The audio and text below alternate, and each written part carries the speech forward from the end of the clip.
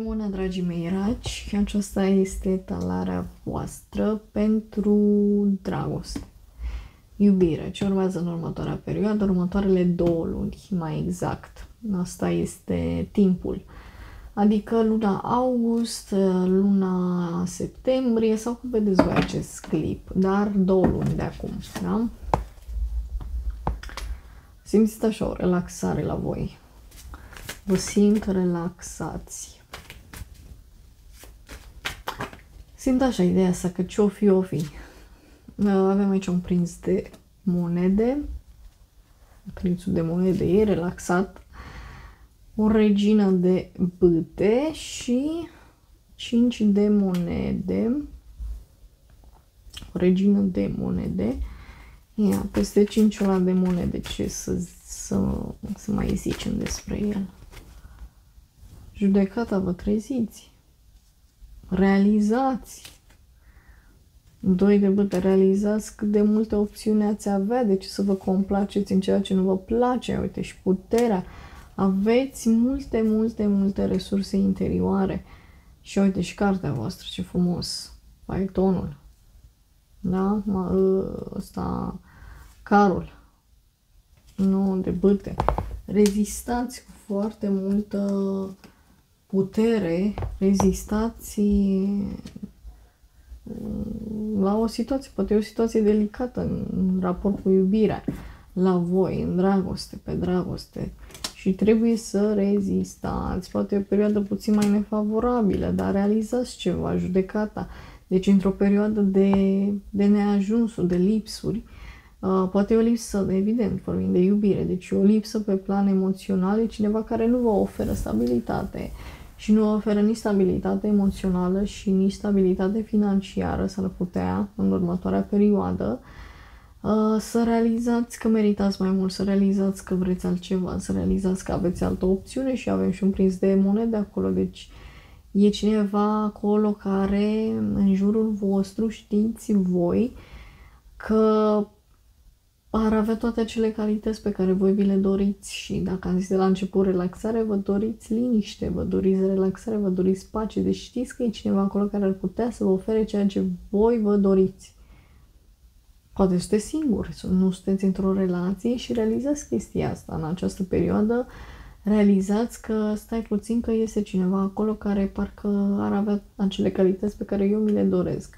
Și simt că o să vă axați mai mult pe dragoste, pe, pe stabilitate emoțională și pe stabilitate financiară, adică să vă ofere aceste două lucruri. Și simt să iau și din pachetul acesta de cărți de oracol indian.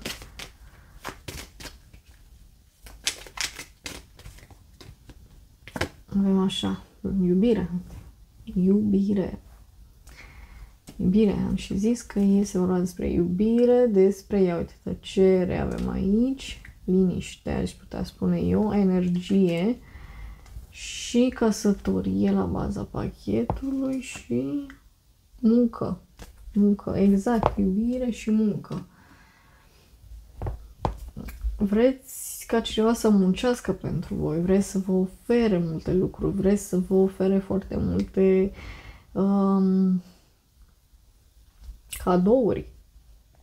De ce nu?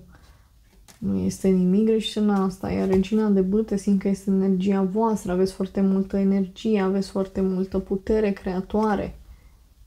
Unii dintre voi s-ar putea să vă gândiți la cum a fost în trecut cu cinciula de monede, la cum s-au întâmplat lucrurile, de ce n-au mers, de ce s-au întâmplat într-un anumit fel.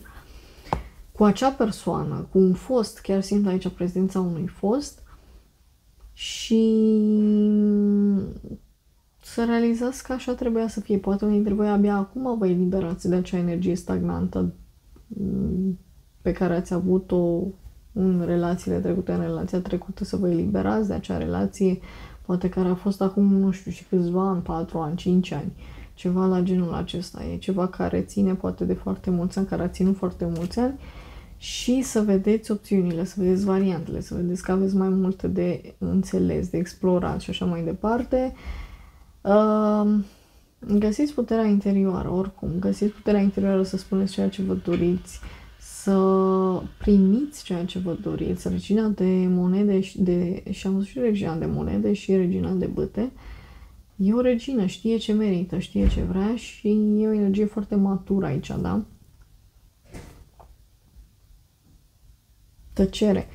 Simt că mai mult voi o să fiți în această tăcere, simt că voi o să oferiți această tăcere acelor lucruri, acelor persoane care nu merită atenția voastră. Voi vă gândiți foarte mult la voi în această perioadă.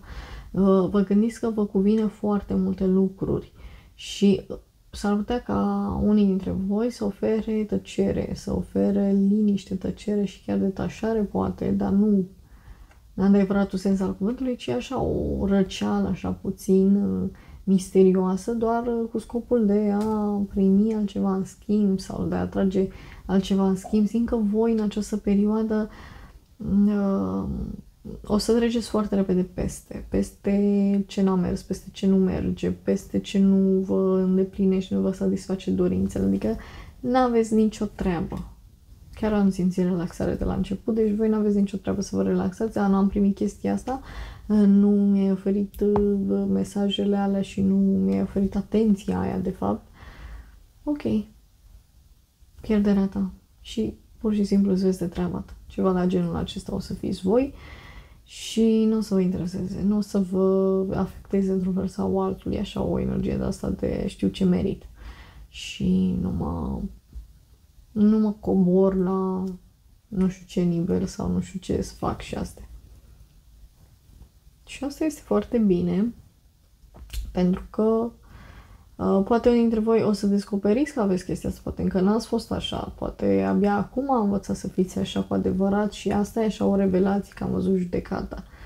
Dar e, e o perioadă așa de, de relaxare pentru voi, de tăcere, nu o să spuneți prea multe lucruri, ci vreți ca partenerul, partenera să vă ofere mai mult în acea perioadă, în următoarea perioadă.